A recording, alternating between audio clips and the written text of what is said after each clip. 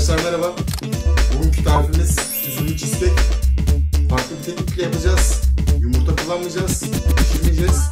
Soğuk cheesecake olacak. Hadi başlayalım.